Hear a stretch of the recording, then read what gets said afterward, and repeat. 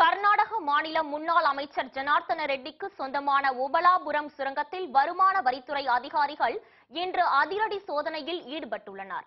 கர்நாடக மாநிலத்தில் முதலமைச்சர் எடியூரப்பா தலைமையிலான பாஜக ஆட்சியின் போது சுற்றுலாத்துறை அமைச்சராக இருந்தவர் ஜனார்த்தன ரெட்டி. பல்லாரி மாவட்டத்தை சேர்ந்த இவருக்கு ஓபலாபுரம் பகுதியில் சொந்தமாக சுரங்கம் ஒன்று உள்ளது. இங்கு இரும்புத்தாது வெட்டி எடுத்தல் உள்ளிட்ட சட்டவிரோத செயல்கள் நடைபெறுவதாக எழுந்த புகாரை அடுத்து அப்போது அவர் கைது செய்யப்பட்டு பின்னர் ஜாமீனில் விடுவிக்கப்பட்டார். இந்நிலையில் ஜனார்த்தன ரெட்டியின் மகள் திருமணம் பெங்களூரில் அண்மையில் கோலாகலமாக நடைபெற்றது. சுமார் ஐநூறு கோடி ரூபாய் செலவில் நடைபெற்ற இந்த திருமணம் பெரும் சர்ச்சையை ஏற்படுத்தியது. விழாவில் குத்தாட்டம் போட்ட நடிகை ஒருவருக்கு ஒரு கோடி ரூபாய் ஊதியம் வழங்கப்பட்டதாக தகவல்கள் வெளியானது.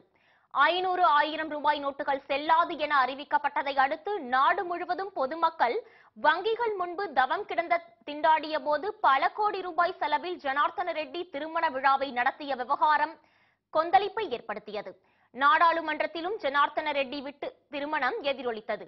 காங்கிரஸ் உள்ளிட்ட எதிர்க்கட்சிகள் கடுமையாக பாஜகவை விமர்சித்த நிலையில் கர்நாடகாவின் பெல்லாரி மாவட்டத்தில் உள்ள ஜனார்த்தன ரெட்டிக்கு சொந்தமான ஒபலாபுரம் சுரங்கத்தில் இன்று வருமான வரித்துறை அதிகாரிகள் சோதனையில் ஈடுபட்டுள்ளனர்.